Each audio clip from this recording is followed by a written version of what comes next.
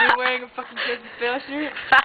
You're wearing my shirt? I'm fucking rolling up the fucking sleeves. yeah. I'm fucking wearing an emo shirt. What Yep, the fuck? it's my emo shirt. Your fucking emo shirt. My emo shirt. It's my shirt.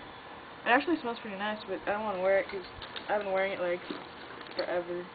Oh, look what it says. It says Senses Shut up. and has little hearts. Hey, Aw. I'm gonna fucking beat the shit out you. emo. You want cigarettes or not, huh? Yeah. Only cool kids get cigarettes. Okay, I'll stop the video then. the fucking Kids Fail shit. Okay, I'm sorry. I'll shut up.